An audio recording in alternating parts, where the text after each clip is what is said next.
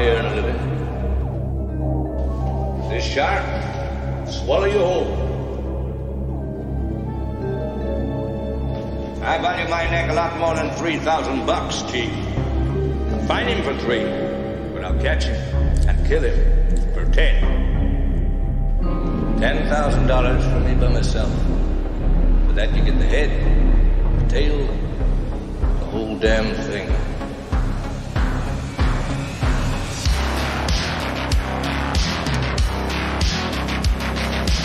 You yell shark. We've got a panic on our hands on the 4th of July. Mr. Vaughn, Mr. Vaughn, I pulled a tooth the size of a shot glass out of the wreck hull of the boat out there, and it was the tooth of a great white. A what? You're gonna need a bigger boat. Love to prove that, wouldn't you? Get your name into the National Geographic. No, I'm not saying that this is not the shark. It probably is, Martin. It probably is. It's a man-eater. It's extremely rare for these waters. But the fact is that the bite radius on this animal is different than the wounds on the victim.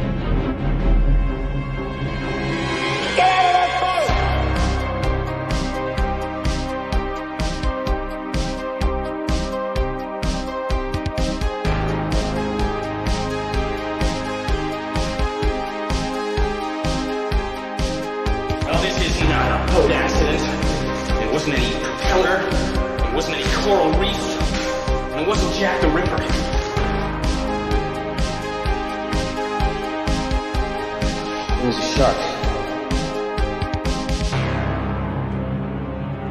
I'll never put on a nice jacket again.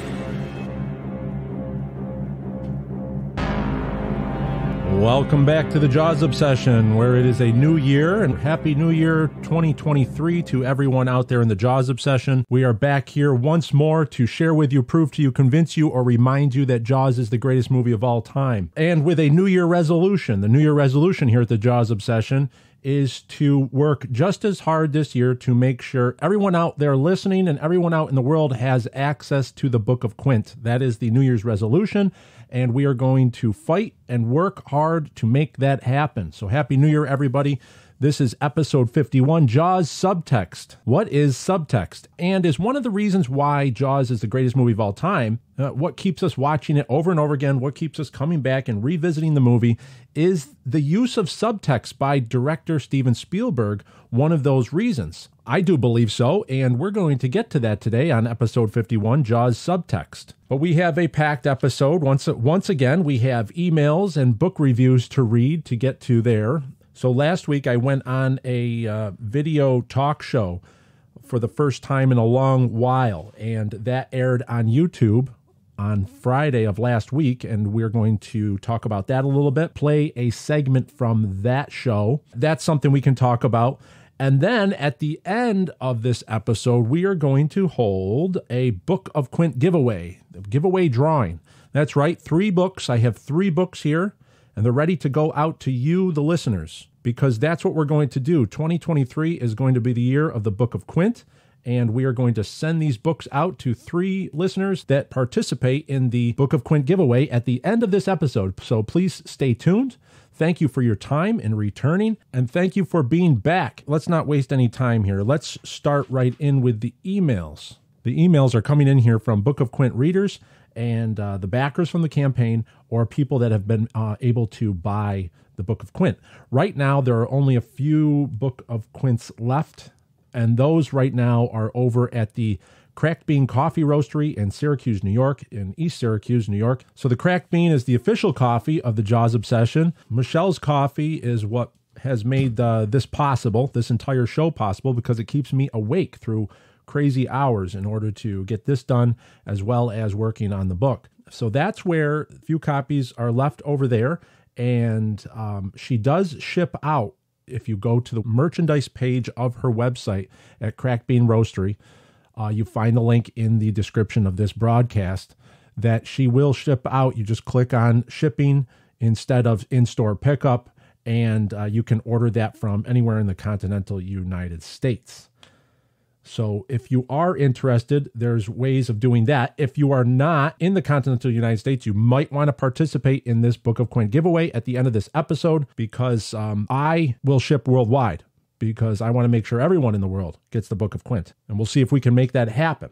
On to the emails. We have the first email came in from Troy. Troy wrote in, he said, I've been a Jaws fan since I was five years old. I saw it the summer it came out because my parents couldn't find a babysitter. I have pieces of memories of the movie. The music stuck with me. The shark popping out of the water in Brody's face and Hooper down in the cage are some of my earliest memories as a child. Since then, I've watched it countless times. I've introduced it to my sons and grandson. They all feel the same way. It's almost a religion around here. Every time it's shown in a theater around here, we go, even though we have an 82 inch television and a 4K copy of the movie to watch at home. Troy continues on. What you're doing is spectacular. I've always feared someone would come along and try to remake this perfect movie. With your installment, this will be squashed. I am looking forward to fleshing out what I already knew what I already thought I knew so well. The episodes where you broke the code on who blew the engine of the Orca, who actually painted the billboard, and why, and what actually happened to Quint's shoulder convinced me that you were the guy for this. I am thrilled to support this, and I will, of course, issue a re- review once I'm finished. I'm so looking for looking forward to reading. Thank you so much for lighting this torch and giving us all something to look forward to. Even the folks who know nothing of this yet are sure to be blown away. I am proud and honored to be one of the first to experience this story. You have a fan for life. Again, thank you. That's Troy in South Carolina. Troy, wow, great email. Thank you so much for writing in, number one. Thank you so much for listening and realizing what we are trying to do here uh, on the Jaws Obsession is by looking at the small details you find out that there's much bigger story there. There's there's a larger story to be enjoyed. And um, he cited some of the episodes about uh, episode 10, who, who broke the orca. He also cited episode 30, which was uh, Billboard Vandals Caught.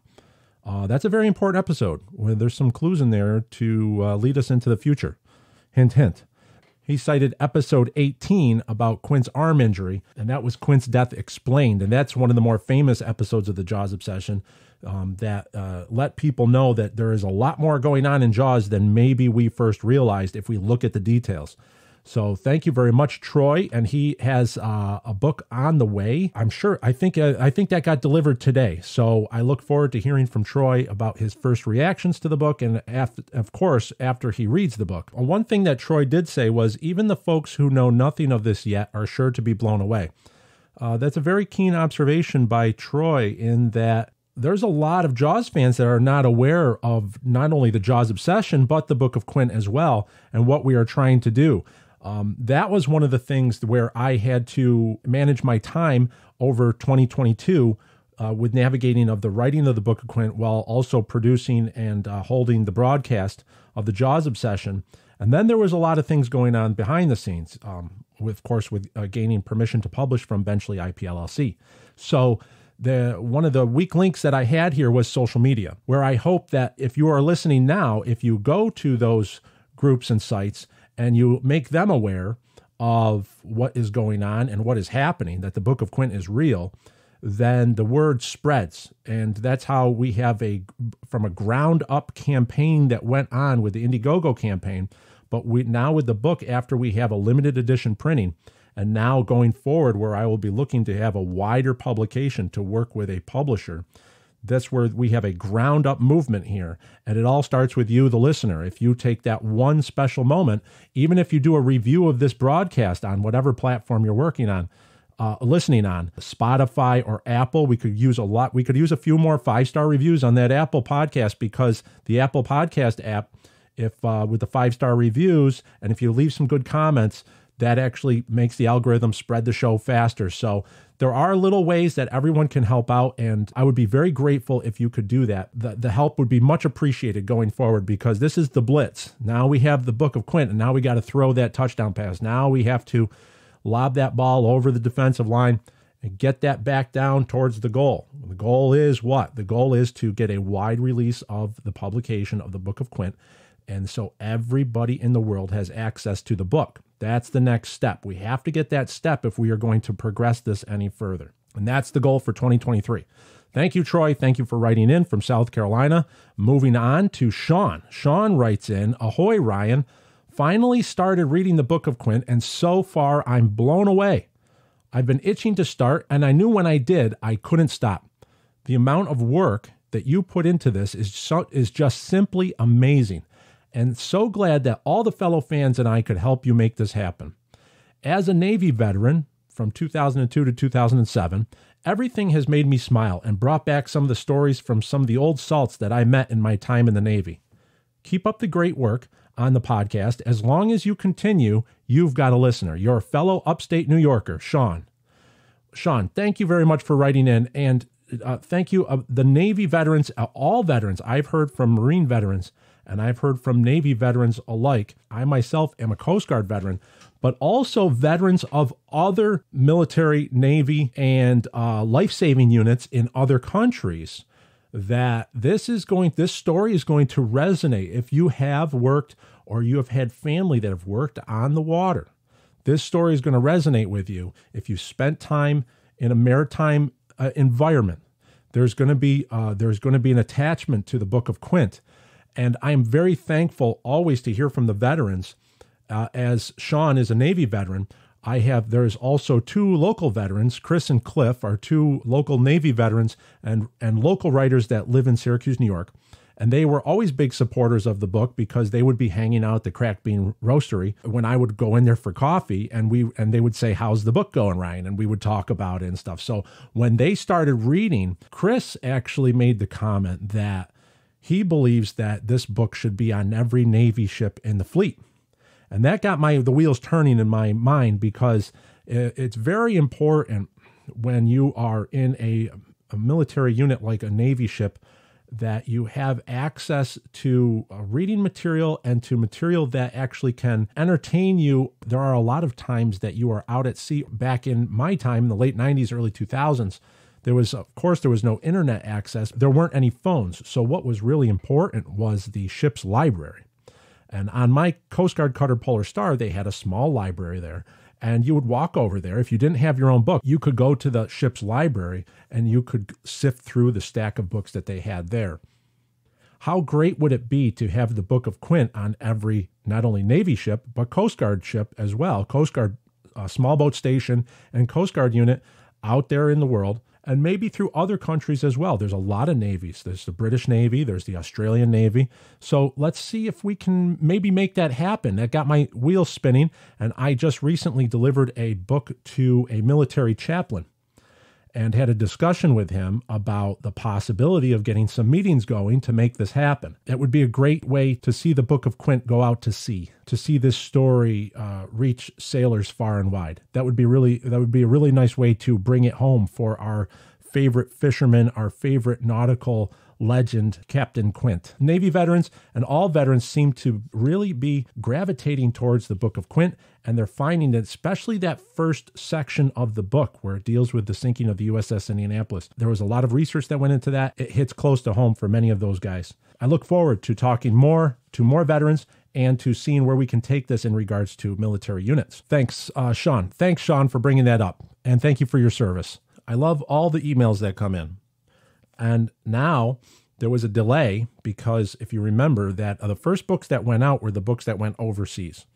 And then we went to domestic uh, delivery. So uh, this last week, that's when the first books started landing in um, England, Finland, Australia.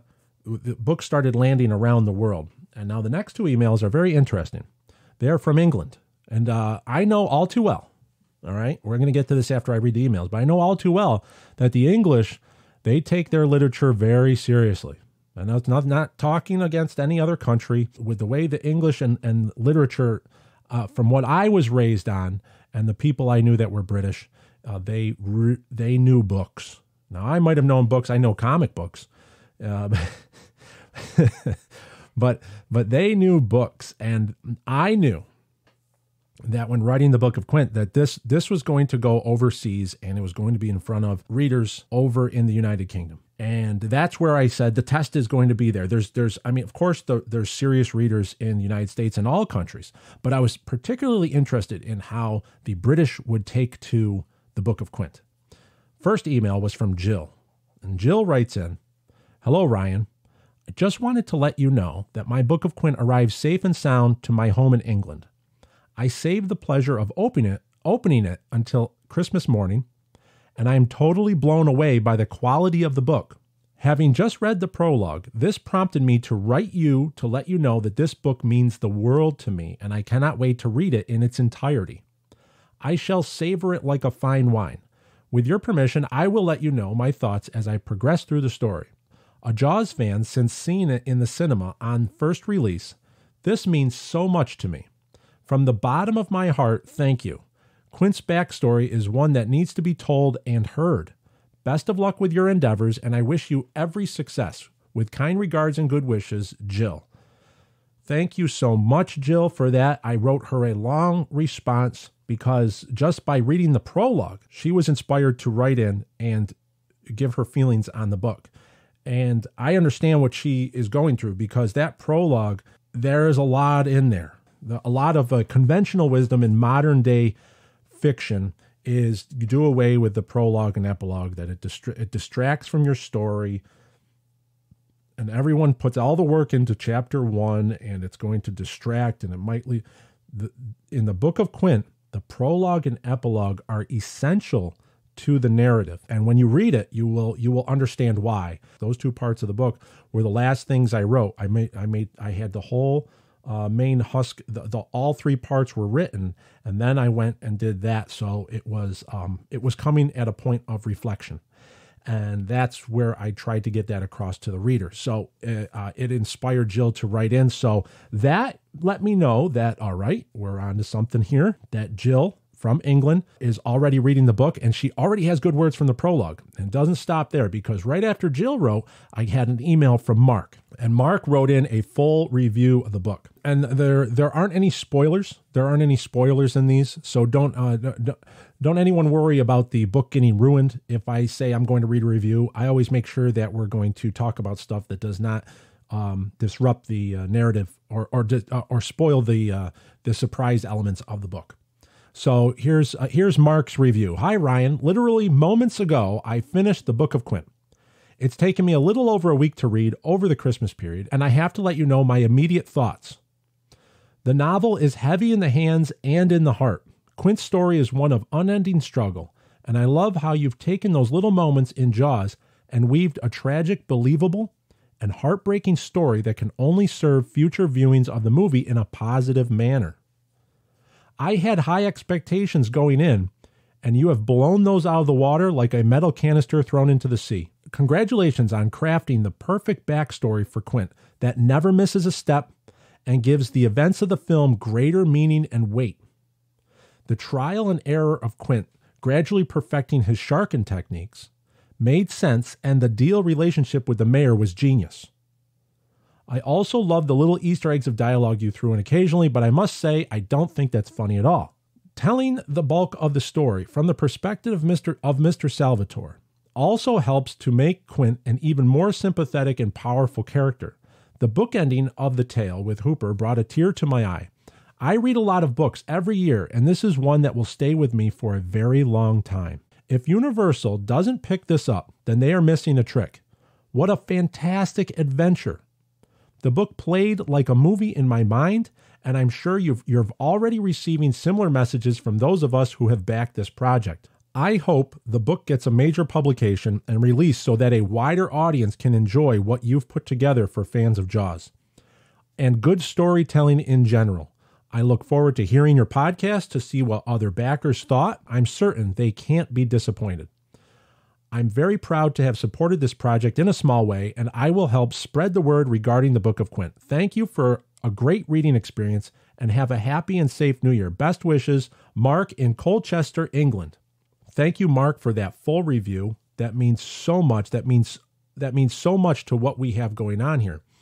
Uh, and that was a full review by Mark in Colchester, England. And then we had Jill. Remember, Jill wrote earlier. Now, these uh, Jaws has a British connection. And what is that British connection? Of course, it's Robert Shaw, arguably one of the greatest actors ever to live, cinema screen actors to come out of Great Britain in arguably his greatest role of his life, which is in Jaws.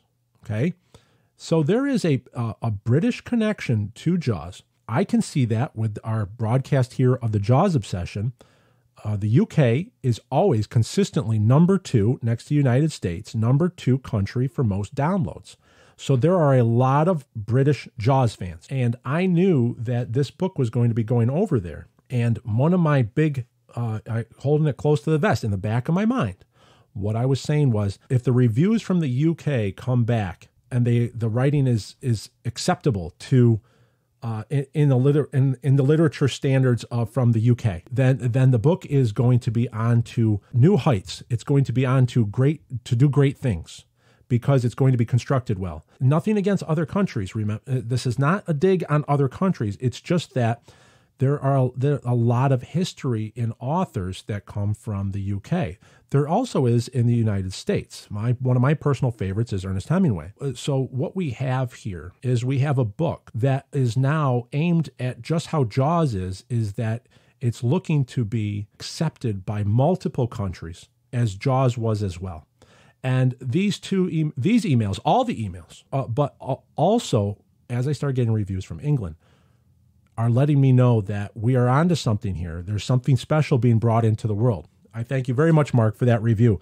Well, great emails this week. Great, great emails. And I'm sorry if I did not get to any other ones. It's just that we do not have much time. Uh, we still want to make these shows somewhat manageable uh, for time. So we have to move on. So, what I wanted to do now was transition over to this appearance that I had uh, the day after Christmas that I appeared on the show Positive Blatherings, the podcast, which is also on video. It was my first time doing a video interview. Nothing on the Jaws Obsession is live. So I have a chance to edit out maybe some missteps or I have a chance to do over some lines if I if they might not uh, come out the right way. So there is an added pressure when you go into a live setting and you and you hit the video and the video's turned on. So this was my first experience in 16 years when talking about a project to go on and to be interviewed, not knowing what those questions are going to be. But what happened was is Scott Scott Fitzgerald, if everyone can remember, in episode 36, he came on the Jaws obsession and he talked about his work in doing the audiobook version of chapter 16 and 17 to the book of Quint for episode 37. So now it was my turn to go into his domain and into his studio over at Rockbox Recording in Rochester, New York. And I'll tell you what happened was something I never expected. He allowed me his questions. He was such a good host that it allowed me to open up to areas and talk about elements of not just Jaws, but the uh, the mindset behind this broadcast and the writing of the Book of Quint, and talk about it in ways that I don't get a chance to on the Jaws obsession.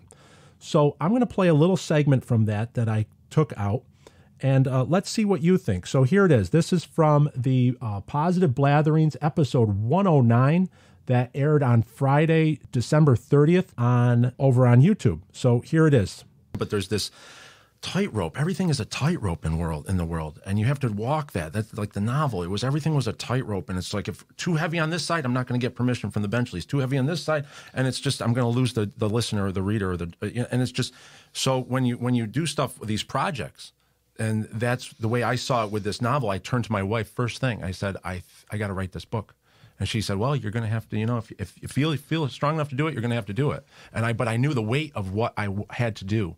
It was in there. I didn't really have it lined out yet, but I knew that this was going to consume my life, and it was going to be painful.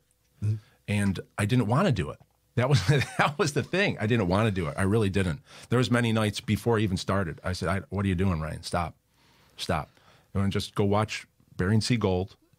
Go watch your, you know, go watch uh, Curse of Oak Island, and then go back to work and just get, up. you know, that's. And then I said, no, no, this has to be done because my another fear is fear of regret. I didn't want to be lying in bed, like brilliant Braveheart line. You're lying in bed. 50 years from now, all these years from now, and you're asking yourself, what could you have, what would you have done? Would you have rather have done this?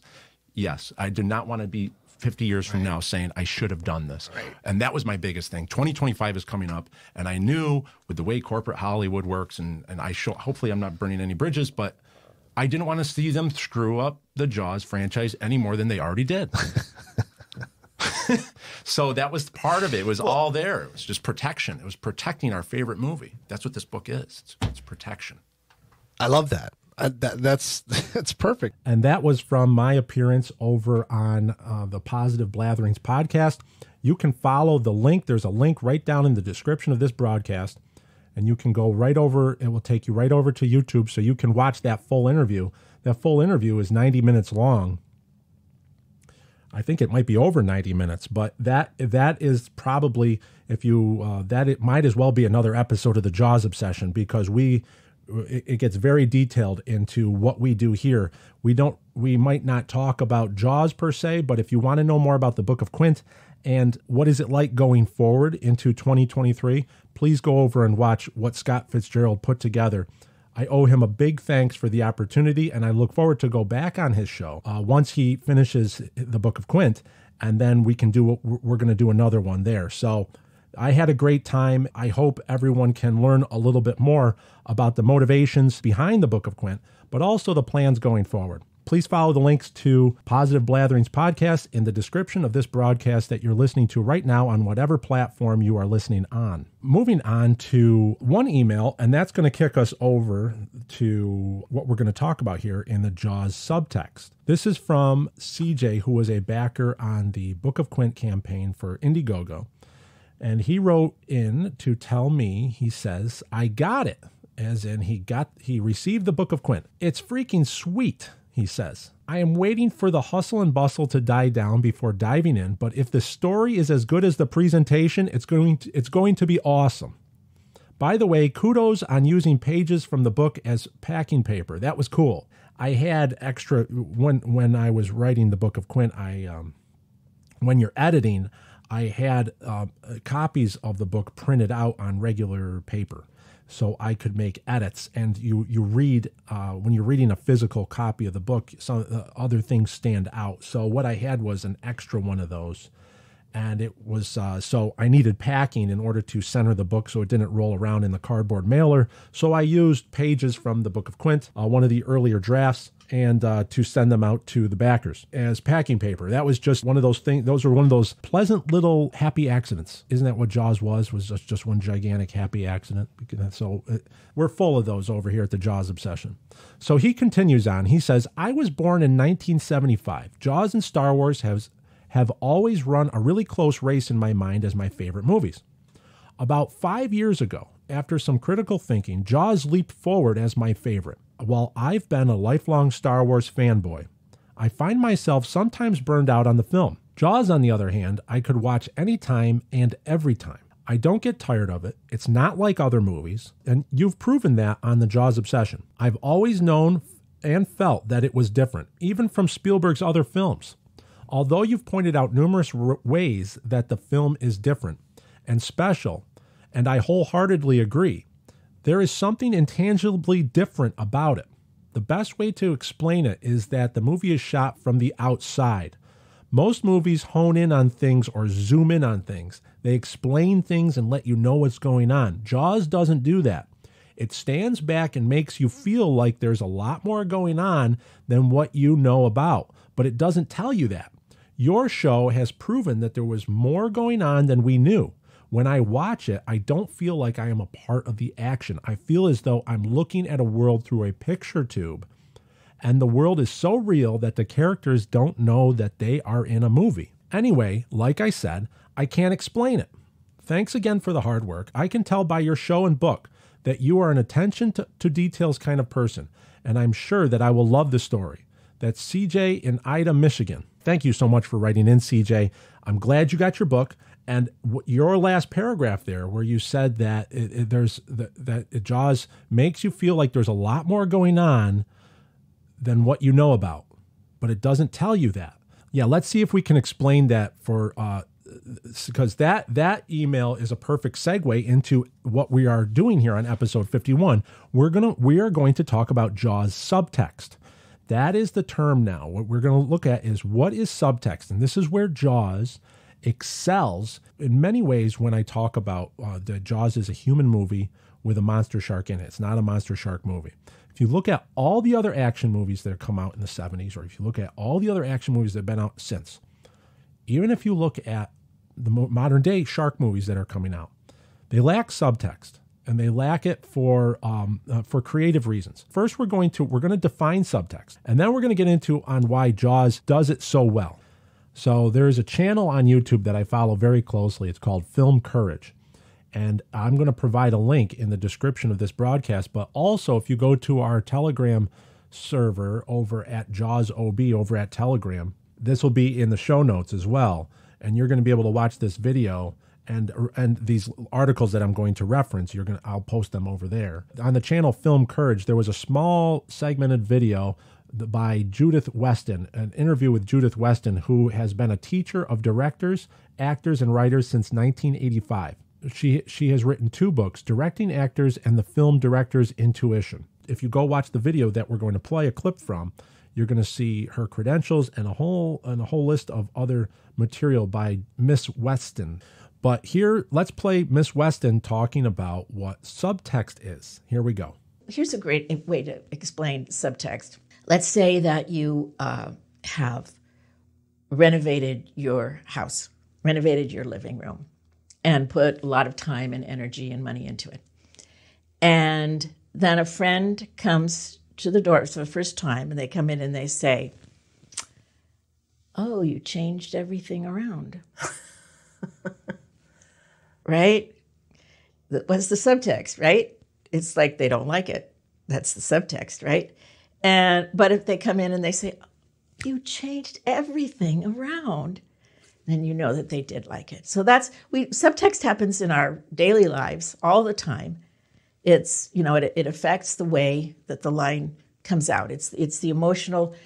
Sanford Meisner used to talk about there's an, the, the emotions of the scene are a river the words are boats that float on that river. So the subtext is the emotional river of the scene or, or the, of the character. So that was Judith Weston and discussing exactly the, in a very practical way, what subtext is.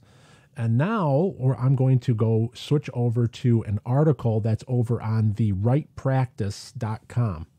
This is an article titled Subtext Examples Seven Simple Techniques to Super- Supercharge Your Scenes by Jocelyn Chase let's get into the uh, let's get into the definition of subtext. So Jocelyn Chase writes that subtext is the unspoken, less obvious and sometimes hidden meaning beneath the words and actions in a scene. It becomes understood as the scene and story progress, revealed to the reader through subtle clues. Subtext occurs when the words don't match the actions, and we all know what that means. Actions speak louder than words. I'm going to skim through this article and read some parts that stand out, and then we're going to see if we can apply those to Jaws. And I will give three examples from Jaws in, in how subtext plays out. And it's one of the reasons why Jaws is such a success. So, Jocelyn Chase writes in this article, she says, When you think about the books and stories that you most enjoyed reading, chances are that story's scenes were woven with something deeper than what appeared on the surface. Like a puzzle, subtext puts the reader's brain to work piecing together clues to arrive at the emotional truth of a scene. Emotional truth, just what uh, Judith Weston was talking about. It makes the story more engaging and more memorable for the reader because the truth of a scene lies not in the words, but in the crux between the word and action. Sometimes direct dialogue serves your purpose best, but there are situations where your writing will take on a greater impact if you de- keep it a little off the nose when writing dialogue. In fact, that's how real dialogue in real life often works. This can be difficult because it means trusting your reader to pick up on significant subtextual cues, but it's an important step. One of the theories that I invested fully in when writing the book of Quint was that the reader is smart. Today's readers they do not need everything handed to them on a silver platter. In fact, it's nice to, when the reader has to work for a little bit of information. I just think that's really interesting because that's exactly my approach with the Book of Quint is the same way that she's describing here in this article about how it's an important step keeping uh, that trusting your reader to pick up on those uh, subtextual cues that you you can trust the reader and and as a filmmaker you can trust the viewer the viewer is smart too. And that's what Steven Spielberg did back in 1974 when he was filming Jaws. She goes on to say filmmakers are fabulous at capturing meaningful subtext in their scenes. capitalizing on effective screenwriting to pull viewers beneath the surface where they can appreciate a, a, deeper significance. You can use your character's body language to express meaning beyond the spoken word. And that is that right there. This is where Steven Spielberg excelled and made Jaws into a movie unlike anything we ever saw. And still, it's hard to find. That's why I think it's the greatest movie of all time. Is on the surface, uh, Steven Spielberg was directing a movie with a shark, but underneath is a woven mat of human physical and emotional interactions. And it's why we continue to watch it over and over again. It's one of those reasons why it holds up over time and it spans generations because there is this a, a lot of subtextual significance going on underneath this story that could have easily just been Monster Shark Attacks Island, which is kind of what the sequels devolved into. So that's where we're looking at what is Jaws subtext. Well, Jaws subtext is pretty much what makes the movie.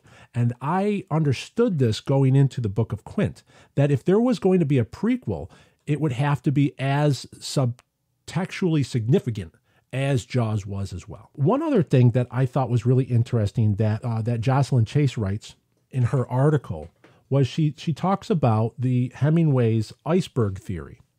Uh, she says Ernest Hemingway was a was brilliant at using subtext, especially in his short stories.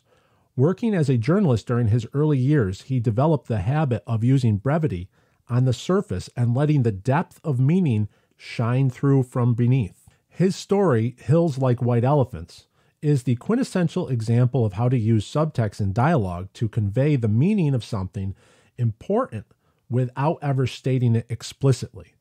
Reading his short stories is like a masterclass in subtextual technique. To get a better idea of what subtext is and how it can enhance your fiction, try reading some Hemingway stories and start with Hills Like White Elephants. And I absolutely agree with Jocelyn Chase here on her article, Subtext, Exa- uh, Subtext Examples on the writepractice.com. And if you go to our show notes, you can see I'm going to put a link to the full article and read that full article. Hemingway was way ahead of his time in that he had this iceberg theory where he felt less is more, that the reader should only know the tip of the iceberg, that 20% of the story, and there should be a, an 80% that they can't see in the text it should be sensed in that 20% and seen above the water. But there's so much more going on behind what they see. So he had that iceberg theory.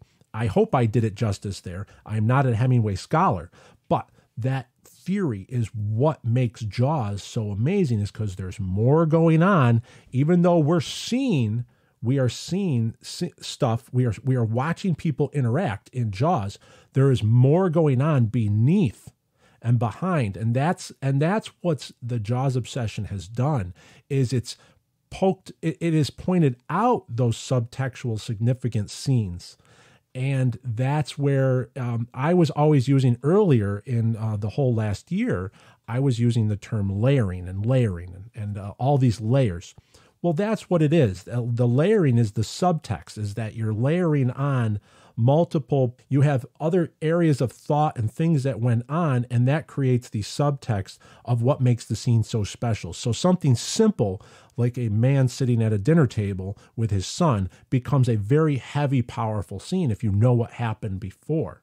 Okay.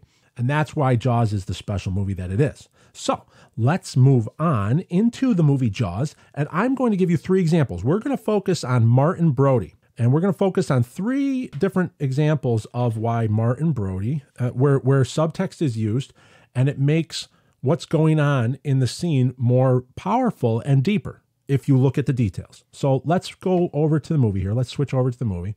So the first one is it comes up at uh, 8 minutes and 58 seconds into the movie. So let's play that.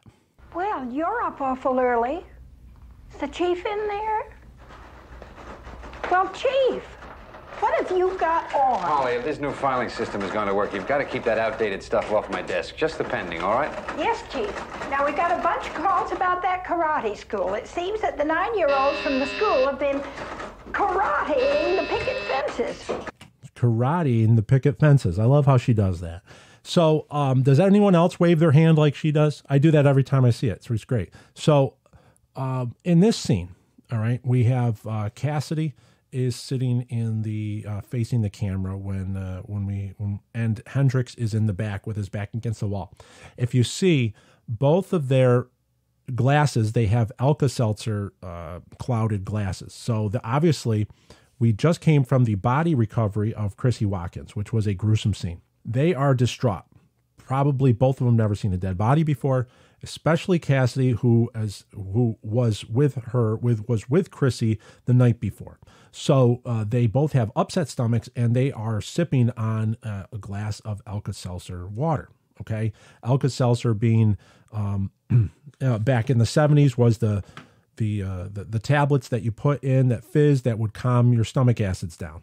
As it zooms into Brody's office and he's typing his out his police report, we see the full glass of water with the with that's already fizzed up, but it's sitting on his desk untouched.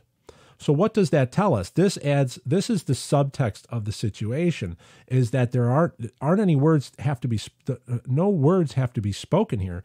You don't have to have Chief Brody saying some hammy line like oh, you guys have a upset stomach. I've seen this many times in uh, New York City, you know, as in a weaker screenplay or a weaker director would have included that. Instead, Steven Spielberg just stages his actors with two guys drinking the Alka Seltzer and one guy completely ignoring his glass.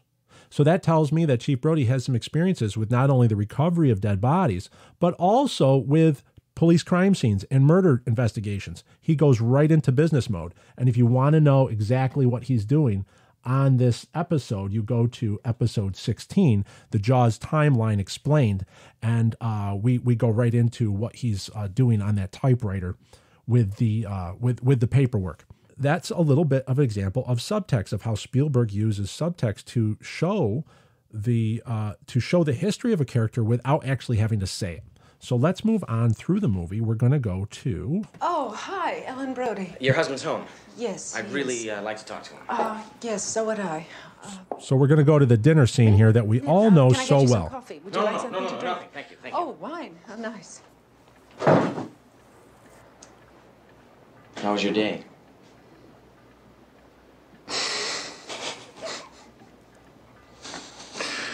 Swell. I got uh, red and white. I didn't know what you'd be serving. Oh, that's nice. Is anyone eating this? So there we have, not only that, we have subtext. How was your day? Swell. It wasn't swell.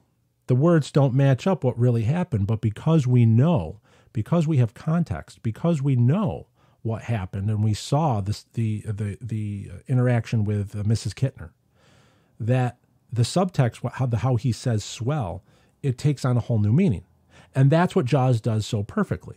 We also have Matt Hooper comes in and sits down. We know that before he asked the fisherman, "Do you know? Does anyone know where there's a hotel or a place to eat on the island?" And the guy says, "Just walk straight ahead." So, uh, so he has he's looking for some place to have dinner, and he can't find it. So when he comes in and he's hungry, and he says, "Has anybody uh, is anybody eating this?" and he pulls the thing. So we know that Matt Hooper is still an outsider. He is not used to this island. So just by a simple that simple one simple line before with his interaction with the other fishermen, and then here where he's hungry and he does something which is that he takes Martin's plate and just pulls it over there while asking permission and he starts eating. That is subtextual. And that's what Spielberg does so well here. That's what, and I don't think that's this was not a, this was not a screenplay idea. It was just that Spielberg was in the zone where he was going, no, I can I can make this into a scene and add weight to it by having details that were planted before earlier. So now we know that Matt Hooper is still an outsider. He still hasn't found a place to eat. He's hungry, and he has uh, now found something to eat. So there's a subtext in that as well. And furthermore, you can actually see that with Brody not eating, with Martin Brody not touching his dinner plate, he is now doing the he is now on the full sympathetic response. If you the, his sympathetic nervous system has still taken over from the stress of the day. He has not calmed down. If you listen to episode 49 the i got no spit episode where we analyzed why does hooper have no spit uh, at the end of Jaws. It's his sympathetic nervous system is taking down and he's stressed out in a stressed out situation. And that, what happens with physiologically, that shuts down his salivary glands. And that is what's happened to Martin Brody. So now we know by him having a full plate of food in front of him, we already know that he's still stressed and he's still thinking about what happened. It's not even spoken about. All it is is, how was your day? Swell, but he's got a full plate of food. Matt Hooper says, Is anybody eating this? We know so much that's going on already without having to be told. And that's what Jaws does. It treats you like you are a smart person. It doesn't talk down to you. And that's what is so amazing about this movie. That's why it's the greatest movie of all time. Let's move on. We have one more, and this is going to be one of my favorite. This is probably my most favorite moment of subtext, one of my most favorite moments of subtext, and it's why I chose the image on the title card as you saw it when you selected to listen to this episode. We're going to go to Martin and Ellen's embrace before him getting on the orca at the end of the movie. Colorful, isn't it? It scares me. Don't use the fireplace in the den because I haven't What am I fixed the to flue yet. kids? Tell them I'm going fishing.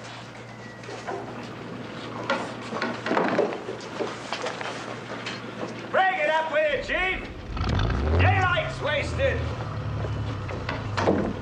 Run, bow, back stern!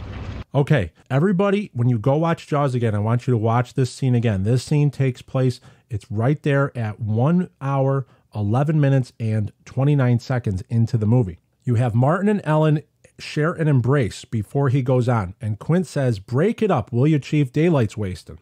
You have Ellen go to pull away from the embrace because she knows she's a police officer's wife. She's got to be tough in this situation and she doesn't want to embarrass him in front of the other men. And so she goes to pull away. And what does Martin Brody do? He pulls her back in to continue the embrace.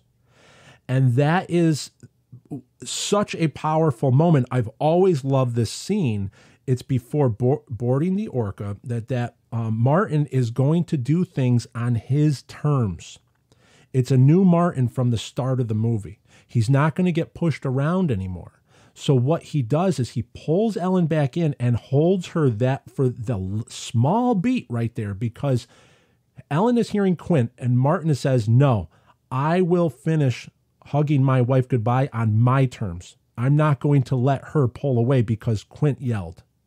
That is subtext right there. It is the definition of subtext. You could teach a film school of it. You could teach a director's course, a screenwriter's course in this one scene just by having that motion without any dialogue being said. It's just in a hug, but it's the way they separate from the hug. Ellen goes to pull away first, Martin pulls her back in, and then he lets her go and turns towards Quint on his terms, not on Quint's amazing, amazing moment in Jaws. I've always loved this part. And I'm so glad that I got to be able to isolate this as part of the Jaws subtext. Now that we know that, everybody, you can go watch Jaws again and you can look at, there's, I bet you I could find about 50 examples of subtext in Jaws. We could do this all day long. We can do we can do 10 episodes of Jaws subtext. It's amazing. And this was Spielberg. Remember, this was Steven Spielberg. Spielberg was directing his actors. Spielberg was blocking these scenes. Spielberg knew that uh, this is what a young Steven Spielberg did, and he did it so well. Everybody talks about the yellow barrels in, in place of the shark and all those little elements that we know already. But what he did, it was this subtextual significance of many of these scenes. And that's why we keep coming back. That's why CJ wrote the email and he said there's something about Jaws that Star Wars doesn't have. I, I that's why I keep revisiting it. I always watch it. It's why we always watch it because there's something there. Because every time you watch the movie, if you look for certain subtextual elements, you will see, you will notice new things. And that's what we are doing. Now, the next episode, we're going to get into Jaws context. Because in order to have subtext, you have to have context. And that's going to be in episode 52. But I don't want to get into that right now. We're going to get into that in the next episode. Episode. And, but but that's what's amazing about this is that that we're here, and that's where one of the many things I did with the writing of the Book of Quint was to add uh, subtext to write with that knowledge that the reader is smart, that these are Jaws, that you are, that I was writing to Jaws fans and that Jaws fans are going to be re- reading this. So I knew that those subtextual elements had to be there in in, in how the story is portrayed. I it, you just don't come out and say stuff. You have to cr- think of creative ways in order to get that story out so that because everyone that's watched Jaws is used to this and that's why we see modern day movies and they don't have what Jaws has because this is a art unto itself. And frankly, many directors do not know how to stage or to portray that. They they they they will go to heavy-handed techniques to just get the movie done or maybe they're not as hands-on and it's their director of photography that's doing the scenes. So we have to really appreciate what Steven Spielberg did for this movie Jaws. So with that, now let's move on to the exciting Book of Quint giveaway. I have three books of Quint that I will send out in packages and I will send out to anyone in the world. I will ship around the world. I don't care if you are the the few listeners that we have in Japan, a book of Quint will go out to you. That's how that's how that's how serious I am. We are going to have fun in 2023. We actually have to celebrate this. We have a new novel that's an authorized derivative work of Jaws and Peter Benchley's characters by Benchley IP LLC. This is as exciting as it gets. And we have to relish in that, that there is a new novel that is in the world, that readers are enjoying it, and they are excited that the story is broadening, that Jaws as we know it is, the scope is opening up. So, in order to drum up that excitement, we're going to have a contest. And it's a very simple contest. My email here is jawsob2025 at gmail.com. Over, let's see, what is the date today? The date today is January 3rd. So, this broadcast will air on the 4th of January. It will broadcast across all pl- podcasting platforms around the world, as well as the sa- at the same time, I'm going to put it on YouTube. So everybody gets a fair shot.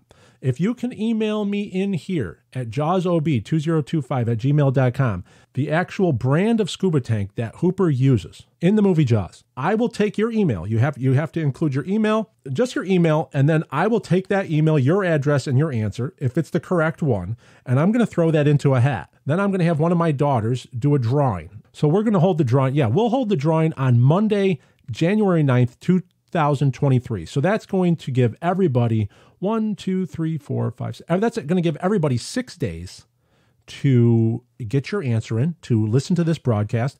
If you can email me at jawsob2025 at gmail.com, if you can email me the, what company made the scuba tank that Hooper uses in Jaws, that's going to go into the hat. We're going to have a drawing, and then three of those drawings, uh, three of those names will be picked out. I'll email you back and let you know you're the winner. Then you just send me your mailing address, and I will mail out a book of Quint to you free of charge. That's how exciting this is because my goal in 2023 is to get everyone to read the book of Quint, to get everyone to have access to the book of Quint. And if, if what little part I can do from this sitting in here in the Jaws Obsession bunker is to get these books sent out to people. So that's how we're going to do it. We're gonna we only have uh, we we only have so many left. We did not print that many, and that's the whole thing. To make this fair, uh, that, remember, there are some available over at Cracked Bean Coffee Roastery. If you go to their website, follow the link in the description below. It's the official coffee of the Jaws Obsession. If you grab a bag of coffee, would be most appreciated because that's the coffee that fueled the book. So if you can do that, that would be great. But this is also an opportunity to possibly win one. So email me back at jawsob2025 at gmail.com. And there you have it, the Book of Quint, the drawing. And also, also, if you have, let's ever get, let's give other people a chance. If you were a backer to the Book of Quint campaign, people that did not get a book already, let's give them a chance to get the book as well. So I'm sorry if you were a former backer. You're, I'm going to have to politely say that you're. that you're ineligible, just like my family and friends are ineligible this as well. So exciting times are ahead. 2023, Happy New Year to everybody. And we're on to an exciting year. We're going to get these books out into your hands, and everybody is going to enjoy the Book of Quint. Show me the way to go. I'm tired,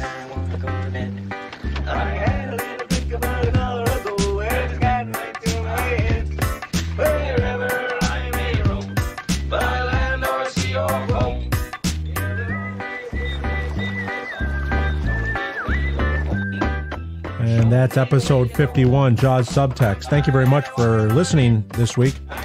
Remember, we could really use some likes, comments, shares, five star ratings on whatever podcast platform you're listening on, or if you're over at YouTube listening, make sure you hit that thumbs up and subscribe.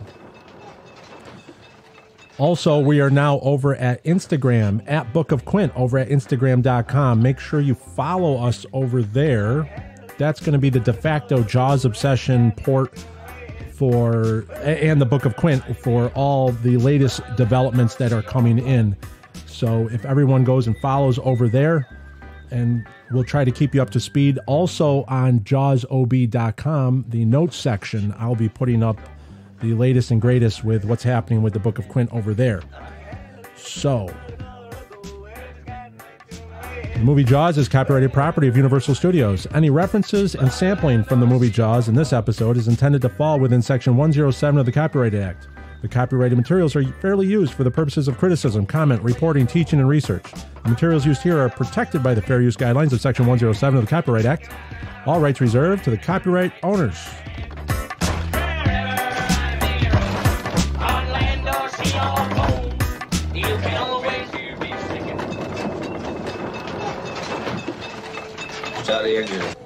So now we know about Jaws subtext. Next episode, we're going to listen and we're going to learn about Jaws context and how does that work into what we have going on here. So thank you very much for listening this week, folks. As always, it's been a pleasure. Until next week, farewell and adieu. Show me the way to go home.